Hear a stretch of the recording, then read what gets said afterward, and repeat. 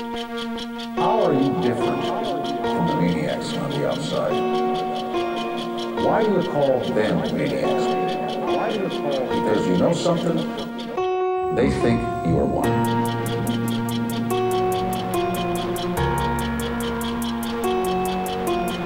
Written accounts indicate that you told the authorities, don't let me out. I can't cope with the outside world. Your recollection of that?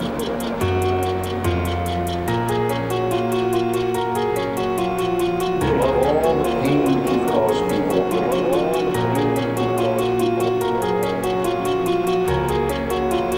I am the chosen one.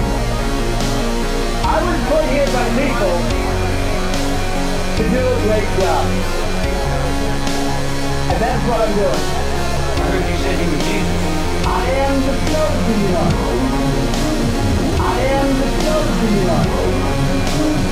Somebody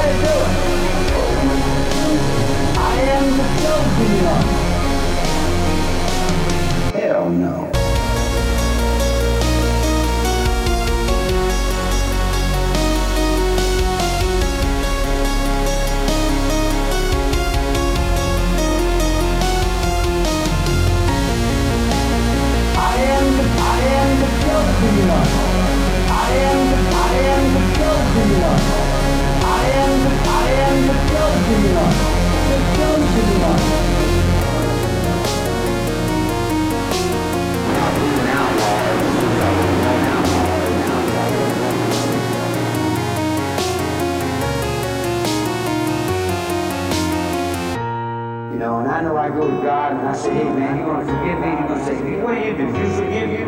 What do you do? You forgive you? Then what do you come to me for? What do you come to me? Give yourself, man. Don't be bothering.